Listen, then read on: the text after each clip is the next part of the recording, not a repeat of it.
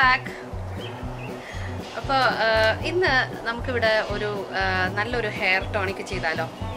ഈ hair tonic ആർക്കും use ചെയ്യാം. ഇതൊരു ചെറിയ കുട്ടികൾക്ക് മുതൽ വലിയ ആൾക്കാർക്ക് വരെ നമുക്കിത് യൂസ് ചെയ്യാൻ പറ്റുന്ന ഒരു ഹെയർ ടോണിക്കാണ് അത് മാത്രമല്ല ഇത് നമ്മൾ എന്തെങ്കിലും ഒരു ഹെയർ പാക്സ് യൂസ് ചെയ്യുമ്പോൾ നമുക്ക് യൂസ് ചെയ്യാം. അങ്ങനെ നമുക്ക് ഒരു കുറേ ഒരു യൂസ് ഉള്ള ഒരു ഓൾ ഇൻ വൺ ഹെയർ ടോണിക്കാണ് അപ്പോൾ നമുക്കിനി അത് എങ്ങനെ ഉണ്ടാക്കുന്നതെന്ന് നോക്കാം. അപ്പൊ ആദ്യം തന്നെ നമുക്ക് ഇതുപോലെ ഒരു സോസ് പാനോ അങ്ങനെ എന്തെങ്കിലും ഒന്നെടുത്ത് നമ്മുടെ അടുപ്പിലേക്ക് വെക്കാം. എന്നിട്ട് നമുക്ക് ഇതിലേക്ക് നമ്മുടെ ഇൻഗ്രീഡിയൻസ് എല്ലാം ഇട്ട് കൊടുക്കണം. അപ്പൊ ഞാനിപ്പോ ഇവിടെ അടുപ്പ് ഓൺ ചെയ്തിട്ടില്ല.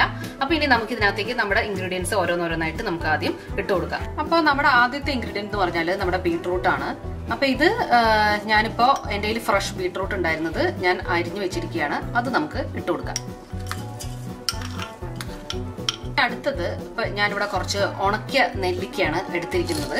അപ്പോൾ അത് നമുക്ക് ഇതാ ഇപ്പൊ എന്റെ ഒരു കയ്യിൽ ഇത്രയാണ് ഉള്ളത്. അത് ഇട്ട് കൊടുക്കാം ഞാൻ ഇതിന്റെ കറക്റ്റ് കണക്കും അളവും ഒക്കെ ഞാൻ താഴെ ഡിസ്ക്രിപ്ഷൻ ബോക്സിൽ ഇടാം. ഇനി അടുത്തത് വേണ്ടത് നമുക്ക് കുറച്ച് കോഫി പൊടിച്ചതാണ് അത്. അതെന്ന് പറഞ്ഞാൽ നമ്മുടെ ഇൻസ്റ്റന്റ് കോഫി പൗഡർ അല്ല നമ്മുടെ ഗ്രൗണ്ട് കോഫി അത് കുറച്ച് ഇട്ട് കൊടുക്കാം.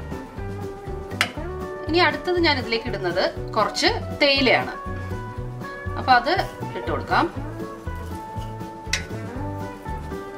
ഇപ്പൊ നമ്മുടെ ഇൻഗ്രീഡിയൻസ് എല്ലാം നമ്മുടെ ഈ സോസ് പാനിലേക്ക് ആയിട്ടുണ്ട്. ഇനി ഇതിലേക്ക് വേണ്ട വെള്ളം നമുക്ക് ഒഴിച്ചു കൊടുക്കാം. ഇപ്പൊ ഞാൻ ഇവിടെ യൂസ് ചെയ്യുന്നത് ഇതുപോലെ ഒരു മേസൺ ജാറാണ് ഇതിൽ ഫോർ ഹൺഡ്രഡ് എം എൽ കൊള്ളും. അപ്പൊ ഞാൻ ഇതിലൊരു ഒന്നര കുപ്പി വെള്ളം ഞാൻ ഇതിലേക്ക് ഒഴിച്ചു കൊടുക്കാൻ പോവാണ്. കാരണം നമ്മൾ തിളപ്പിച്ച് കഴിയുമ്പോൾ അത് കുറച്ചൊന്ന് വറ്റുമല്ലോ അപ്പൊ അത് കഴിയുമ്പോൾ നമുക്ക് ഇങ്ങനെ ഒരു ഫുൾ ജാറ് ആണ് നമ്മൾ എടുക്കാൻ പോകുന്നത്. അപ്പൊ ഞാൻ ഇപ്പൊ എന്റെ ഒന്നര കുപ്പി വെള്ളം ഞാൻ ഈ സോസ് പാനിലേക്ക് അളന്നൊഴിക്കുകയാണ്. ഇനി നമ്മുടെ വെള്ളം ഇതിലേക്ക് ഒഴിച്ചു കൊടുക്കാം. ഇനി ഞാൻ എന്റെ സ്റ്റവ് സ്റ്റാർട്ട് ചെയ്തിട്ടുണ്ട്. ഞാൻ ഈ സോസ് പാൻ ഒരു മീഡിയം ടു ഹൈ ഫ്ലെയിമിൽ വെക്കുകയാണ്. ഇതൊന്ന് തിളക്കണം നമുക്ക്. തിളച്ചു കഴിഞ്ഞിട്ട് നമുക്കിത് ഒരു ചെറിയ ഫ്ലെയിമിലേക്ക് ഇട്ട് കുറച്ച് നേരവും കൂടി വെക്കണം.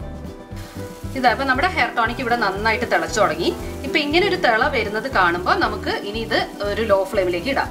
ഒരു ഒരുപാട് ലോ വേണ്ട ചെറിയൊരു മീഡിയം ടു ലോ. അങ്ങനെ ഒരു ഫ്ലെയിമിലേക്ക് ഇട്ട് കഴിഞ്ഞാൽ വീണ്ടും ഒരു ടെൻ ടു ഫിഫ്റ്റീൻ മിനിറ്റ്സ് ഇതോടെ ഇരിക്കട്ടെ. കുറച്ചും കൂടി നേരം ഒന്ന് ഇതിരുന്ന് തിളക്കട്ടെ കേട്ടോ. ഇതിപ്പോ ഈ സ്ലോ ഫ്ലെയിമിൽ ഇപ്പോൾ ഒരു ഏകദേശം ഒരു ടെൻ മിനിറ്റ്സ് ആയിട്ടുണ്ട്.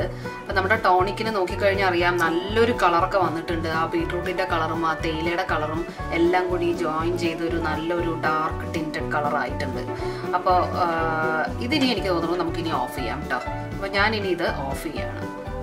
ഇനി നമുക്ക് ഇതൊന്ന് അരിച്ചെടുക്കാം കേട്ടോ ഒന്നിങ്ങനെ ഞാൻ ഞാനൊരു അരിപ്പ് വെച്ചിട്ടുണ്ട് ഇവിടെ. ഞാൻ ഈ പാത്രത്തിലേക്ക് ഇതൊന്ന് അരിക്കുകയാണ്.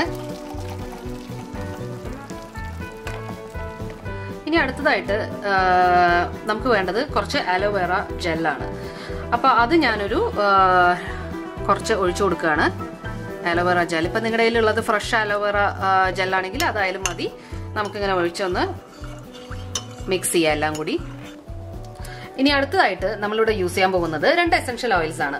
അത് ലാവൻഡറും റോസ്മേരിയാണ് ഞാൻ ഇവിടെ യൂസ് ചെയ്യുന്നത് കംപ്ലീറ്റ്ലി ഓപ്ഷണൽ ആണ്. ഇത് രണ്ടും anti bacterial anti fungal essential oils ആണ്. അപ്പോൾ ഇത് ഞാൻ ഓരോന്നും ഒരു ടെൻ ഡ്രോപ്സ് വെച്ച് നമുക്ക് ഇതിനകത്തേക്ക് ഒഴിച്ചു കൊടുക്കാം.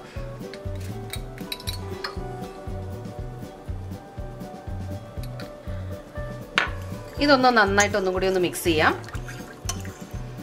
ഒരു നല്ലൊരു ഹെയർ ടോണിക്കാണിത് ഇപ്പൊ ഇതാ നല്ലൊരു മണമൊക്കെ വരുന്നുണ്ട്.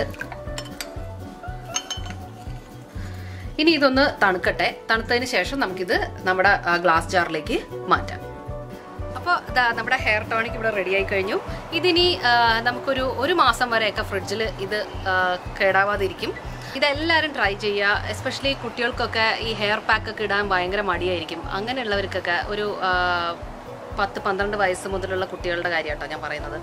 അപ്പോൾ അവർക്കൊക്കെ ഇത് ആക്ച്വലി ഒരു സ്പ്രേ ബോട്ടിൽ ഒഴിച്ചിട്ട് നമുക്ക് ഹെയറിലും സ്കാൽപ്പിലും എല്ലാം സ്പ്രേ ചെയ്ത് കൊടുക്കുക അങ്ങനെ യൂസ് ചെയ്യാം. അല്ലെങ്കിൽ ഈ പറഞ്ഞ പോലെ തന്നെ നമ്മുടെ ഹെയർ പാക്സ് കമ്പൈൻ ചെയ്ത് യൂസ് ചെയ്യാം.